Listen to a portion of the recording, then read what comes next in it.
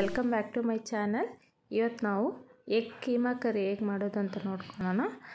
ಇದು ರೋಟಿ ಮತ್ತು ಚಪಾತಿ ಜೊತೆ ಸೈಡ್ ಡಿಶ್ ಆಗಿ ತಗೋಬೋದು. ತುಂಬ ಟೇಸ್ಟಿಯಾಗಿರುತ್ತೆ ನಾನಿಲ್ಲಿ ಫೈವ್ ಎಗ್ಗನ್ನು ಬೇಯಲಿಕ್ಕೆ ಇಟ್ಟಿದ್ದೀನಿ.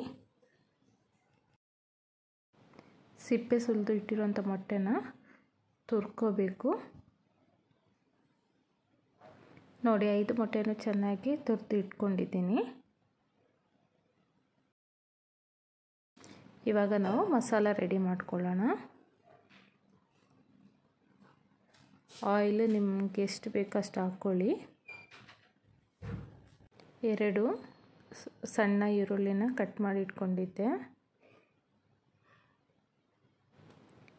ಈರುಳ್ಳಿ ಸ್ವಲ್ಪ ಫ್ರೈ ಆದಮೇಲೆ ಶುಂಠಿ ಬೆಳ್ಳುಳ್ಳಿ ಪೇಸ್ಟನ್ನು ಹಾಕ್ಕೋಬೇಕು, ಒಂದು ಸ್ಪೂನು.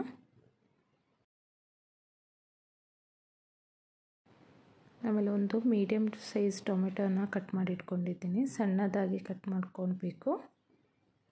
ಟೊಮೆಟೊ ಚೆನ್ನಾಗಿ ಫ್ರೈ ಆಗಿದೆ. ಇವಾಗ ಕಾಲು ಸ್ಪೂನಷ್ಟು ಅರಿಶಿನ ಪುಡಿ, ಅರ್ಧ ಸ್ಪೂನ್ ಉಪ್ಪು, ಆಮೇಲೆ ಒಂದು ಸ್ಪೂನಷ್ಟು ಮೆಣಸಿನ ಪುಡಿ ಹಾಕಬೇಕು. ಇವಾಗ ನಾನು ಅರ್ಧ ಸ್ಪೂನು ಗರಂ ಮಸಾಲ ಹಾಕ್ತಾಯಿದ್ದೀನಿ ಮಸಾಲ ಎಲ್ಲ ಚೆನ್ನಾಗಿ ಫ್ರೈ ಆಗಿದೆ. ಇವಾಗ ತುರ್ದು ಇಟ್ಟಿರುವಂತಹ ಮೊಟ್ಟೆನ ಹಾಕ್ಕೊಳ್ಳೋಣ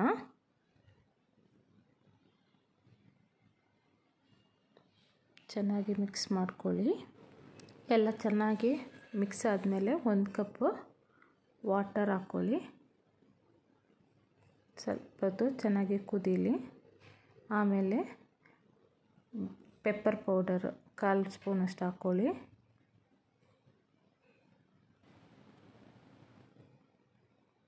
ಇವಾಗ ಸ್ವಲ್ಪ ಕೊತ್ತಂಬರಿ ಸೊಪ್ಪನ್ನು ಕಟ್ ಮಾಡಿ ಇಟ್ಕೊಂಡಿದ್ದೆ, ಅದು ಹಾಕಿದ್ದೀನಿ. ಚೆನ್ನಾಗಿ ಮಿಕ್ಸ್ ಮಾಡ್ಕೊಳ್ಳಿ. ನೋಡಿ ಫ್ರೆಂಡ್ಸ್, ಟೇಸ್ಟಿಯಾಗಿರೋಂಥ ಎಗ್, ಕೀಮಾ ಕರಿ ರೆಡಿಯಾಗಿದೆ. ನೀವು ಮನೇಲಿ ಟ್ರೈ ಮಾಡಿ, ಇಷ್ಟ ಆದರೆ ಕಮೆಂಟ್ ಮಾಡಿ. ಇನ್ನೂ ಯಾರು ಸ, ನಮ್ಮ ಚಾನಲ್ ಸಬ್ಸ್ಕ್ರೈಬ್ ಮಾಡೋದಿದ್ರೆ ದಯವಿಟ್ಟು ಸಬ್ಸ್ಕ್ರೈಬ್ ಮಾಡಿ. Thank you.